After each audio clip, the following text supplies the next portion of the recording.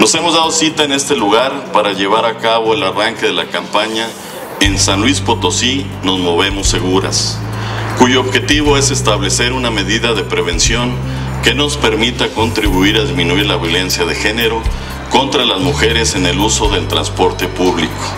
Uno de los puntos donde más se observa el tema de violencia o de acoso muchas veces para las mujeres pasa por el transporte público.